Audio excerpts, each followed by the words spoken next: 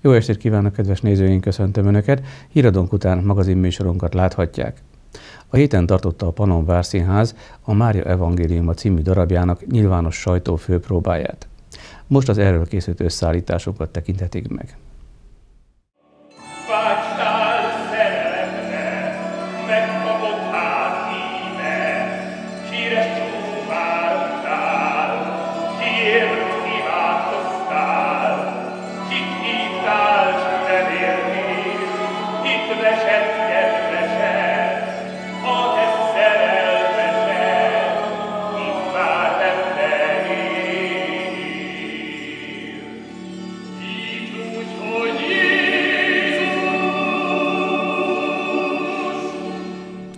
Július 6-án tartották a Pannon Várszínház új előadásának, a Mária evangéliumának a nyilvános sajtófőpróbáját Veszprémben.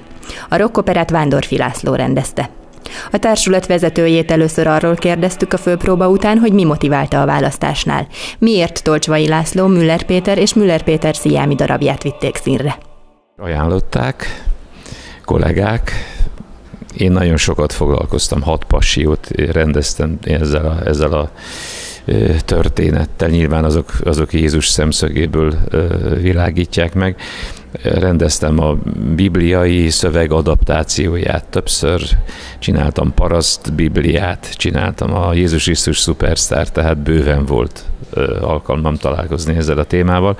Ez viszont egy új szempont az anya szemszögéből, az anya és a és az őtőle elváló fiú szemszögéből világítja meg, és mivel mindenkinek a kinéző és színházba jár, van édesanyja, vagy volt édesanyja, ez egy átélhető probléma. Valamennyien, akik felnövünk valamilyen szinten, elhagyjuk a szülői házat. Ez nyilván egy nagy történet, itt az elhagyás nem olyan egyszerű. Az elválás az halál, és nincs annál szomorúbb dolog, mint amíg egy anya temeti a gyermekét de túl a, a szakrális megközelítésen ez egy nagyon emberi, nagyon emberi történet. Tehát minden vonatkozása akkor működik, és remélem, hogy ebbe, ebbe mi jól működtünk közre. Tehát akkor hat, hogyha ha valamennyien saját sorsunként éljük meg, nem pedig valami képes könyv részleteként.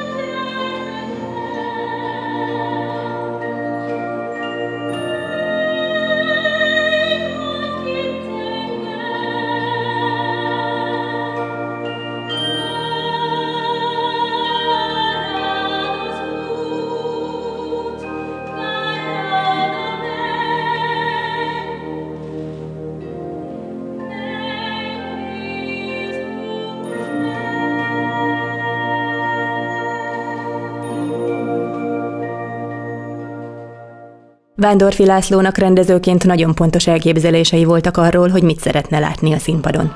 A munka folyamat során a társulat tagjai, a vendégszínészek és a táncosok is kiváló partnernek bizonyultak az elképzelések megvalósításában. Karácsony körül új év első napjaiban már megvolt, hogy milyen térben játszódik.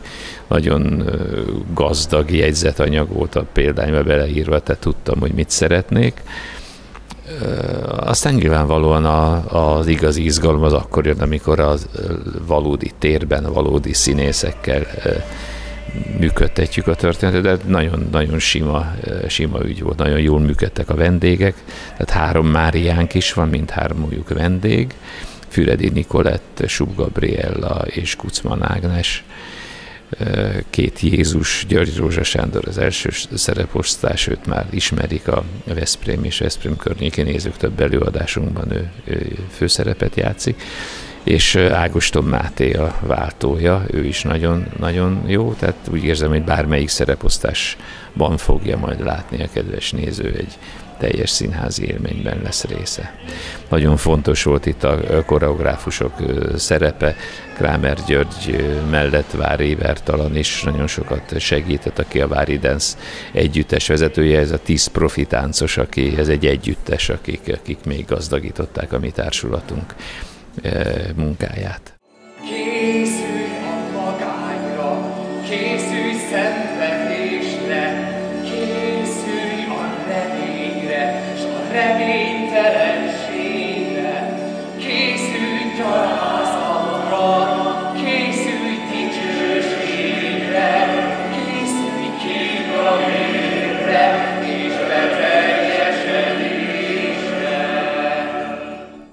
A Pannonvár Színház gyermekszereplőket is foglalkoztat az előadásban. Ez nem először fordul elő Vándorfi László pályafutása alatt, kimondottan szeret gyerekekkel dolgozni. Hát imádom őket, ez, ez, ez egy ünnep nekem mindig, hogyha ha, ha jönnek. Mindegyikük más másféle, másféle adottságokkal, másféle belsővel, de nagyon tisztán és nyitottan jönnek, úgyhogy Kis Jézusra is van három jelöltünk, van a legkisebb a nyolc éves, Bulcsú barátunk játszott, de van Ajkáról is, az egy simaházi Rudolf, ő ajkai kisfiú, és van egy Veszprémi Gelencsé Rábel. Tehát ők hárman, de ők lesznek majd hárman, szintén a, a dzsungelkönyve felújításban a kismauglik is.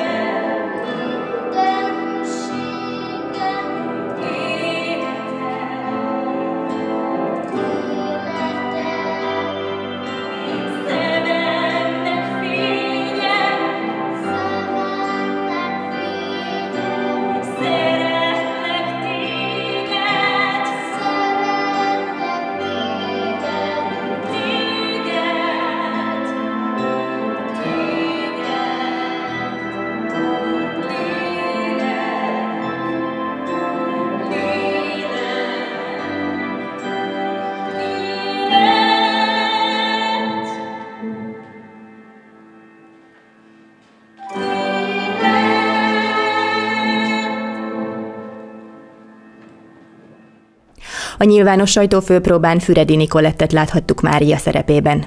Megkérdeztük tőle, mennyire testhez álló számára ez a feladat, mit gondol a vallásról, és mennyire áll közel hozzá az anyaság.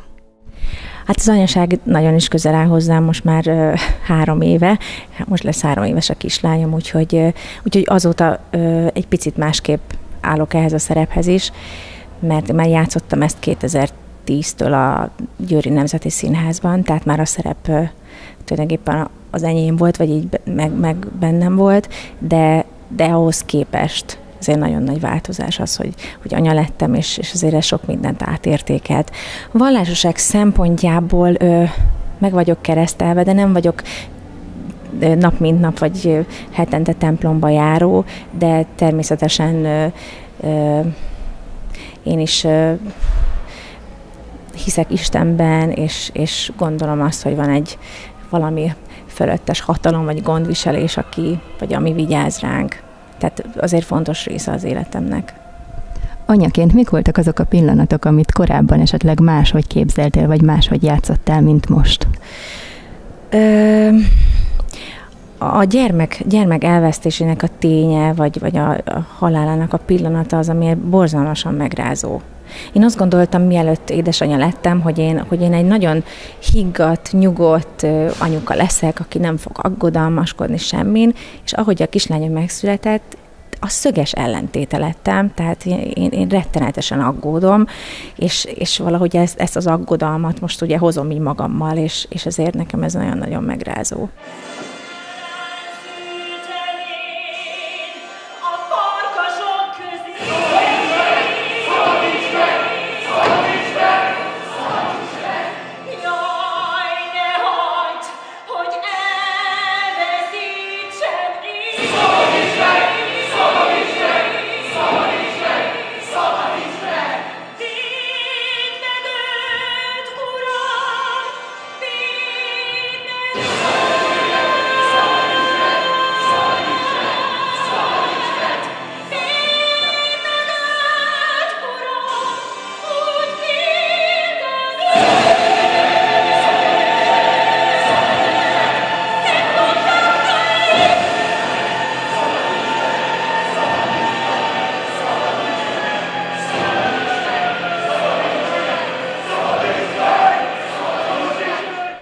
Nyáron csak néhány Mária evangéliuma előadást tart a Pannonvár Színház. Nyáron csak előbemutatóként játszuk a Balaton körül, lesz egy Balaton lellén, lesz egy Siófokon, egy Alsóörsön, és aztán ősszel kezdődik, kezdi az igazi útját az előadás. Veszprémben ezzel nyitjuk, nyitjuk a közszínházi szezont, és úgy tudom, hogy az ajkai bérletben is ez lesz az első előadás.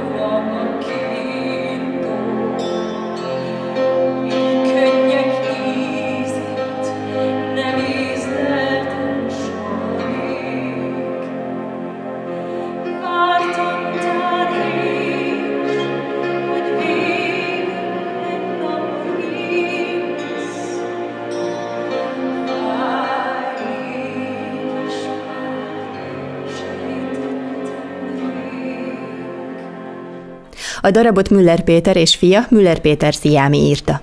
Utóbbi jelen volt a Veszprémi sajtófőpróbán, és elnyerte tetszését Vándorfi László rendezése. Azt gondolom, hogy dacára annak, hogy nagyon sokat szól látom különféle megvalósításokban és rendezésekben a Máriát. Itt van egy olyan rendezői invenció, aminek nagyon megörültem. Ez a gyakorlatban úgy indult, hogy a, a Mária odafekszik a Jézus helyére a, a kereszten.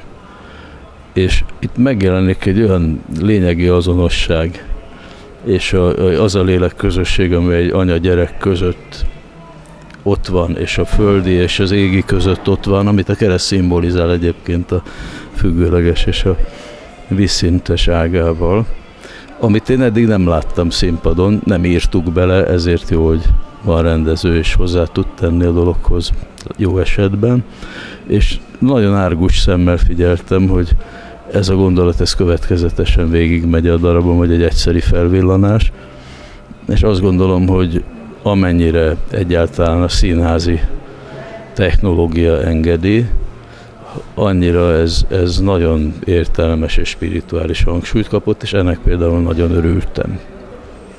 Volt-e esetleg még más eleme is az előadásnak, amit máshogy képzelt el, amikor a szövegek készültek?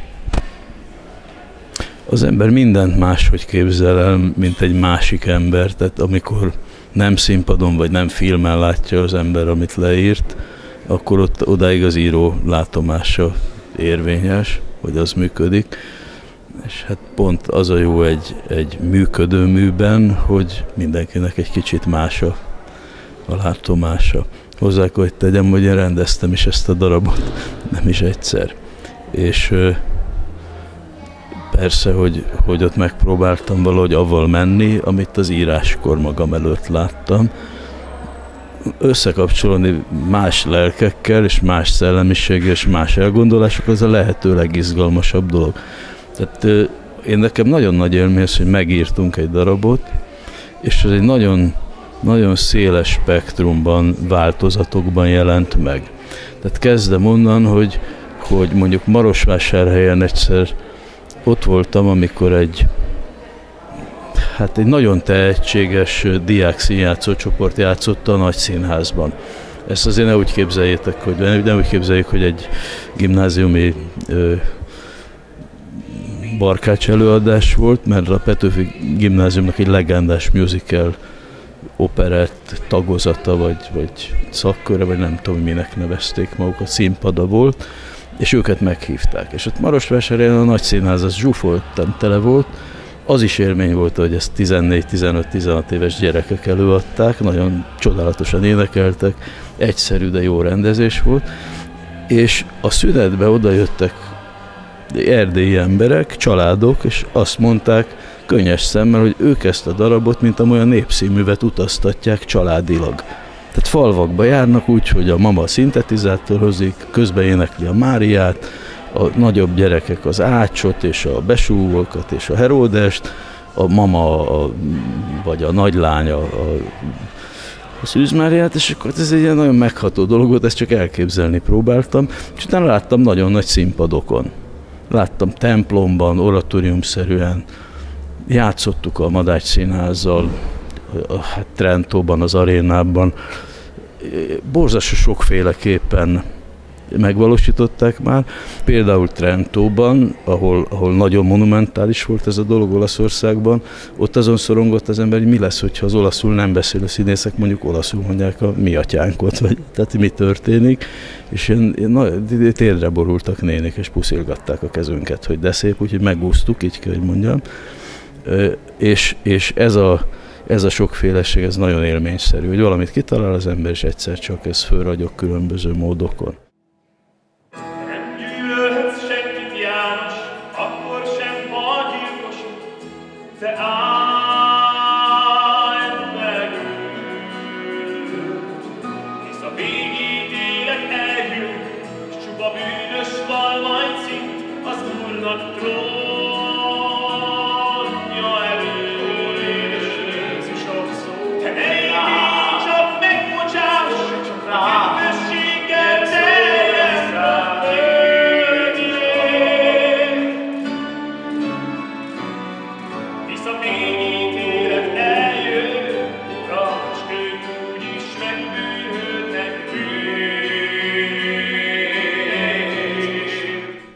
A rockopera ötlete az idősebb Müller Pétertől származik, aki költőfiát kérte fel a versek megírására. Én éppen vad rock and roll-t énekeltem akkoriban, és talán annyiban nem egyszerű popzenét, hogy én költőként indultam, és vagy úgy keveredtem a rockzenébe, hogy szövegíró voltam, és aztán elhívtak énekelni zenekarba. De, de én akkor nagyon ebben voltam. Viszont egy pici faluban laktunk, és éppen várandós volt a feleségem, és egyszer csak azt mondta, azt mondta az apukám, akinek én bármit megtennék, hiszen fölnevelt, ami nem emberöléssel kapcsolatos, hogy megírnám-e a Mária evangéliumának a szövegét.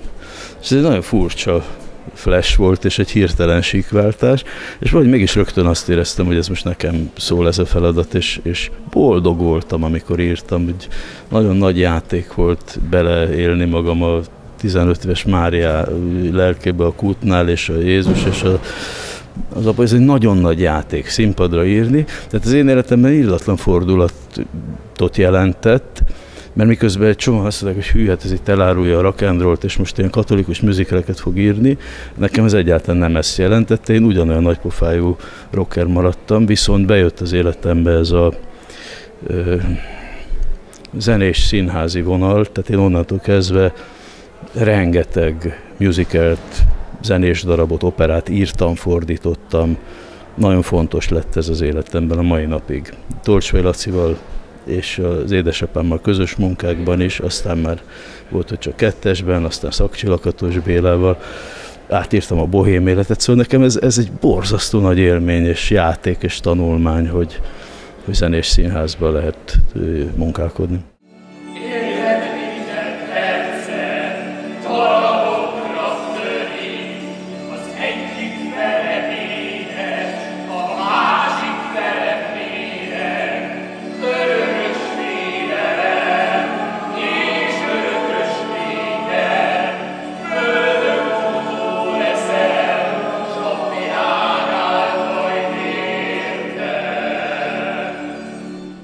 A Veszprémi előadás Mária és a kereszt viszonyán kívül is tartogatott meglepetéseket a szerző számára.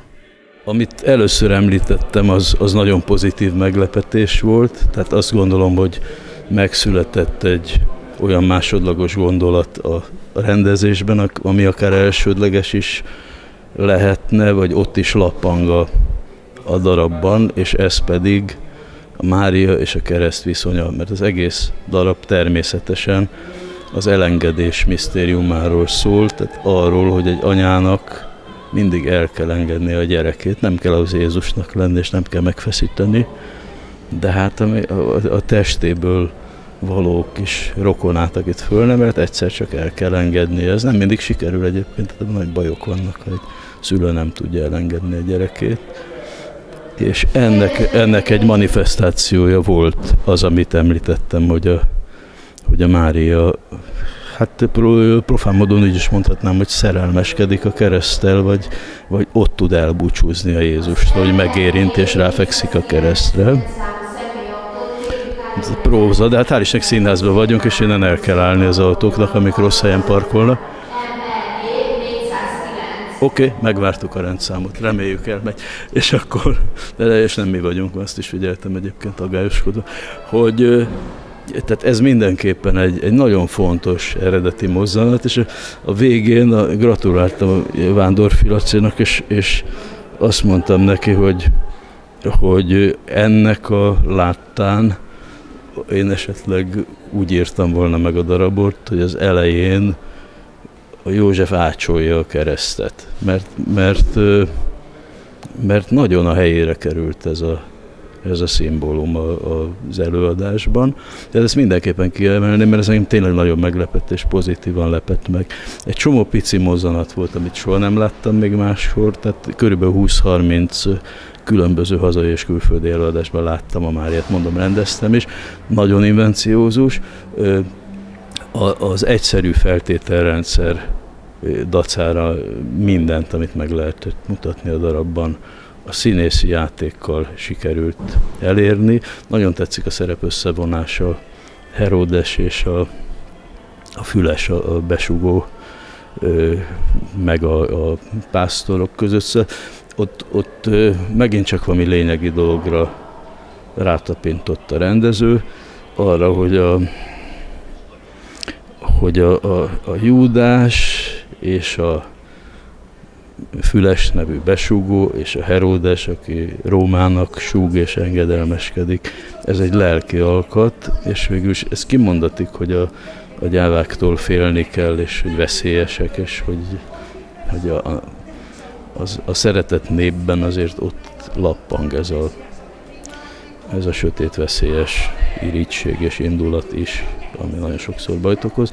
Ez például így nagyon képszerűen megjelent.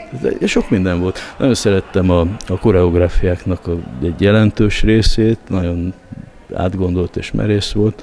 Amit ki lehet hozni a, az adott feltételek között, ez, ez az előadás azt, azt megvalósította, és gyönyörűen és nagyon hatásosan énekelnek és játszanak. Én nagyon szeretem. Tehát tényleg sok előadás után őszintén nem csak udvarláskedőkodásból, vagy udvarlásból, vagy hogy jó lessen, hanem tényleg azt mondom, hogy itt egy nagyon szép előadás született. Az előbb katolikus musicalnek nevezte a darabot. Mennyire dönget egyébként tabukat a maga a rock opera, hiszen azt is kimondja, hogy Mária nem volt boldog. Hát én föl vagyok mentve egzegézisből, tehát hál' Istennek nem nekem kell a Bibliát magyarázni, semmilyen szinten nem dönt tabukat, de ezt nem én mondom, mert az túró, ez nem lenne érdekes. Az történt, hogy amikor, amikor eldőlt, hogy a pápa látogatáskor a pápának a Máriát fogják játszani, hogy ez meg is történt Panualmán, akkor előtte összeült egy 30 emberből álló bizottság, főpapok, biblia magyarázók, a teljes katolikus egyház, és még segítséget is behívtak, és megvizsgálták a szöveget szóról szóra és az a furcsa véleményezés született, hogy ez egy szakrális szentlélek sugalta mű. Amire nem, de azt mondom, hogy passz, tehát valaki sugalta nyilván, mikor verset ír az ember, ezt valaki sugalja. Ha ez konkrétan és exaktul a Szentlélek volt, azt én köszönöm szépen. Ö, és nem tudom, nem tudom olyan biztosan, mint ők. De hát ők mondták ezt. És az biztos, hogy, hogy tehát a Biblia ismeretében is azt mondom, hogy ez egy, ez egy földi és égi történet. És azért mondtam először, hogy a keresztnek van egy viszintes, meg egy függőleges szára, mert a függőleges szára az a, az a mennybe ható története egy anyának és egy fiúnak, és Jánosnak, aki a mesélő, és a bizonyos fokig a főszereplője ennek a darabnak. És van egy földi történet, amelyik dimenzióból nem mondhatjuk azt, hogy a Mária boldog volt, mint ahogy az is egy ilyen divódós, kettős lelkiállapot, amikor egy embernek fölnő a gyereke. Én tudom, nekem hat darab van, és abból három fölnőtt, három meg kicsi.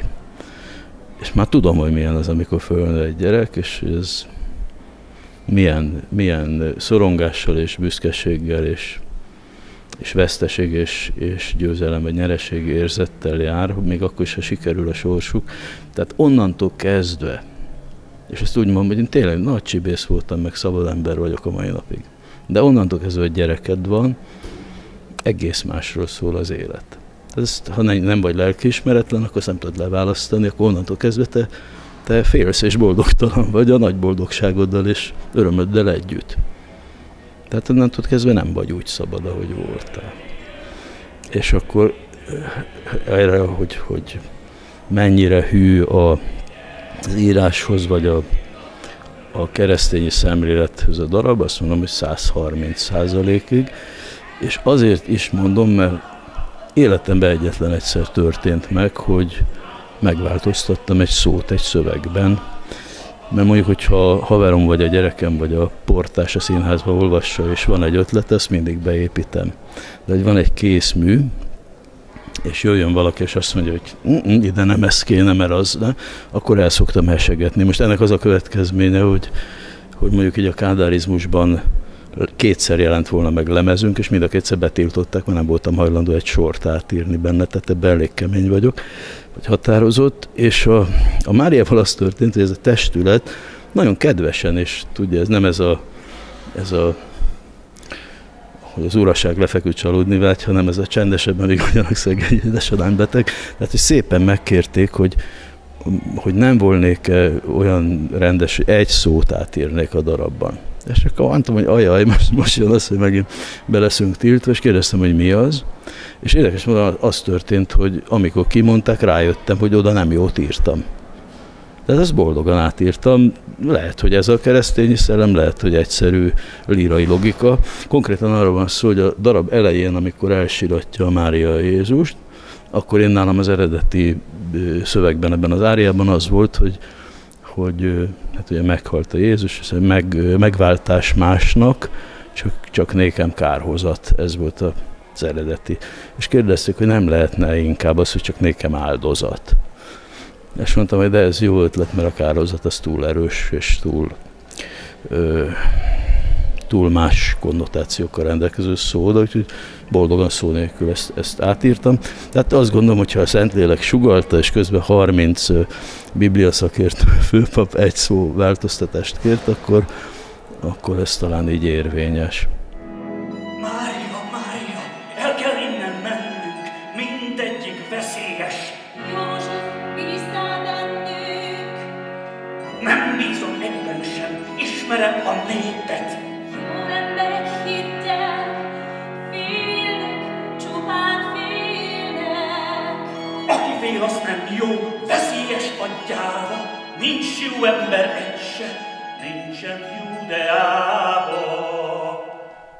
A Mária evangéliuma üzenete általános és örök, de napjaink történéseivel kapcsolatban is gondolatébresztő lehet. Maga az üzenet az nagyon általános, szakrális és örök. És pontosan az ilyen üzenetek, azok, azok mindenkorban más fénytörésben jelennek meg. Tehát a számomra a darab az nem változott soha, a jelentése se változott soha. A világ változott kőkeményen, tehát Hát azt tudom mondani, hogy veszélyeztetett faj lettünk a Földön, a Földdel együtt. Valószínűleg volt már ilyen, csak mi nem akkor éltünk. Most akinek esze van, az, az megijed. Tehát én szemben a közmondással azt vallom, hogy jobb megijedni, mint félni. Én nem szeretnék félelembe élni, de, de most ideje lenne észhez térni, és egyáltalán nem tudom, hogy az, az lehetséges-e. És hát nem, nem, hogy mondjam, nem csak az anyák helyzet, hanem az apák helyzet, és pontosan ugyanúgy úgy változik, és úgy válik félelmetessé, tehát hogyha nekem az a dilemmám, hogy mit csináljak veszélyhelyzetben, és belegondolok, hogy ne adj Isten, mondjuk fegyverrel kéne megvédeni a gyerekeimet, miközben egész életemben a katonaság elől menekültem megrögzött békeharcosként. Hát a franc tudja, nem, nem tudom. Tehát ennek a darabnak az az üzenete, hogy akit még érint, legyen az moszlim, vagy legyen keresztény, ugye Jézus a Koránban is főszereplő, az azért, azért gondolja végig, hogy hogyha ez így megy tovább, akkor egyetlen megváltó még elég lesz arra, hogy itt rendbe jöjjenek a dolgok, és a bűneitől az emberiség szabadulni tudjon, vagy egyáltalán túléljen. Tehát itt valami vészes démoni begyorsulás van, és ennek csak egy szélső tünete.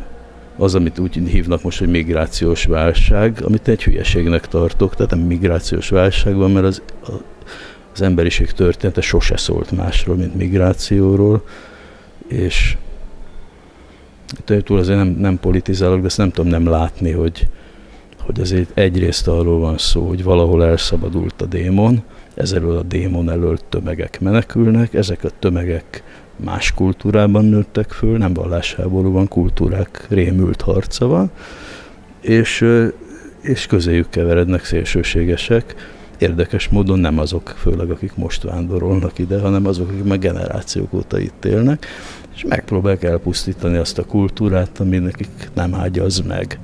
Hogy ebben mit tud kezdeni az európai kultúra, amelyik pedig humános és keresztény akar lenni, azt én még senkitől nem hallottam. Senki nem tudta nekem elmondani, hülyeségeket hallok. Jobbról, balról, Európából, Magyarországról.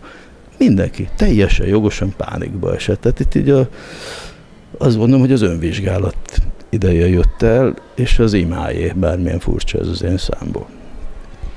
Itt a, a Mária evangéliumában is a, az anya tulajdonképpen félti a gyermekét, és a félelemből végül is kénytelen kiszolgáltatni Jézust az apjának, az atyának, magának Istennek, aki igazából tehát ott biztonságban van nála. Nem lehet esetleg valamiféle párhuzamot vonni, hogyha már a migrációs válság szóba került, hogy a, ugye a kereszténynek nevezett állam próbál próbálja elhajtani azokat, akik segítségre szorulnak, és úgy szolgáltatja ki őket? Hát mondom, én ezt borzasztó nehéznek, vagy megoldhatatlannak látom a saját civil eszközeimmel, eszközeinkkel. Az biztos, hogy, hogy miközben Brüsszelnek üzengetünk. Nekem az első reakcióm azért az az volt, hogy vannak evidenciák. Tehát, hogyha én ismerem a Szentírást, és ezen már elég sok egyházi vezetővel sikerült elvitatkoznom, akik ostobának és bénának mutatkoztak ebben az ügyben. Tehát igen, van ennek egy harci oldala, és én nem vagyok hadvezér.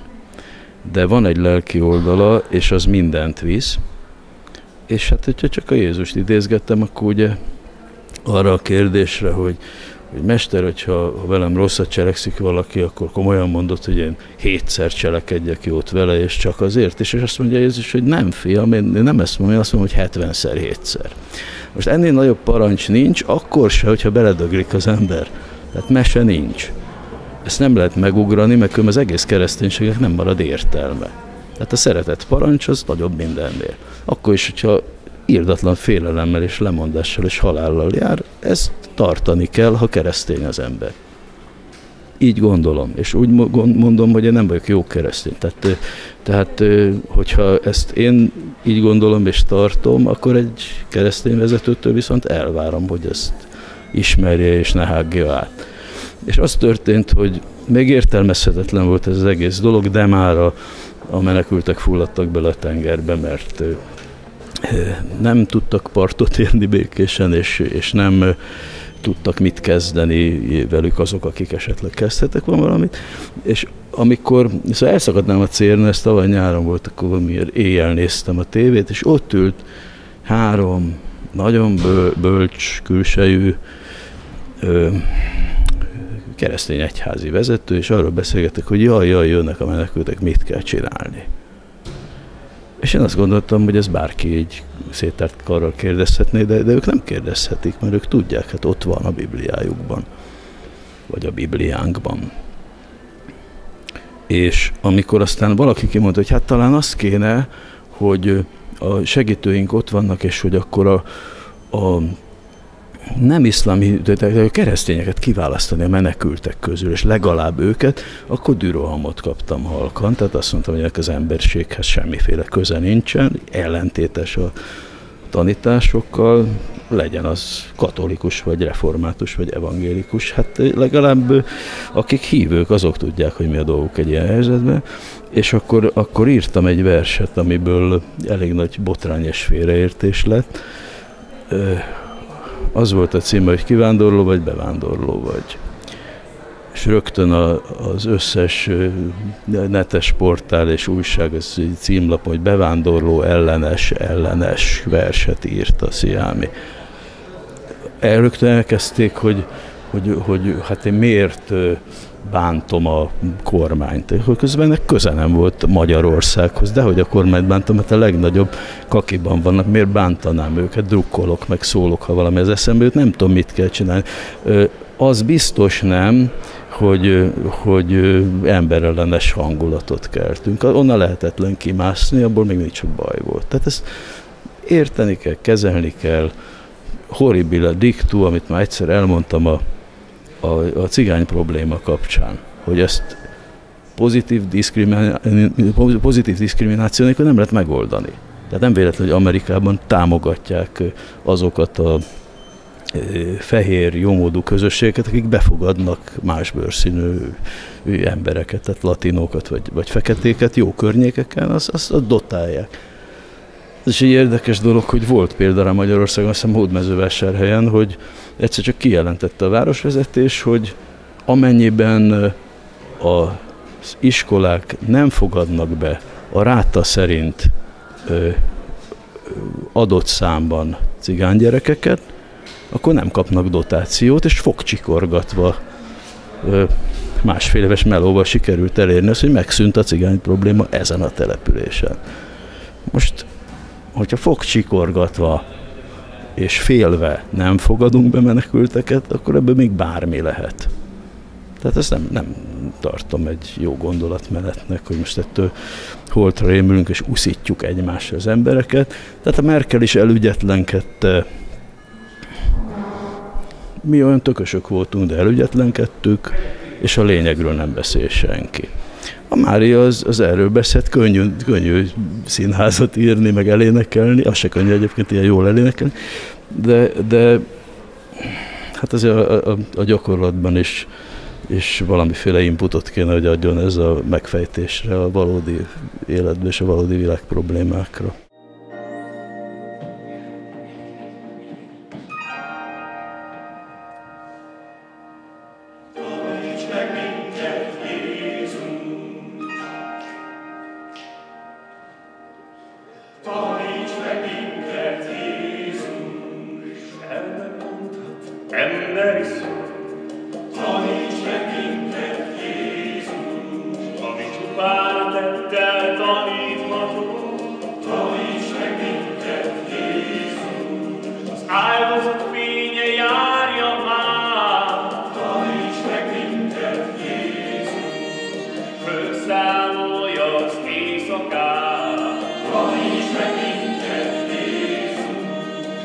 speak.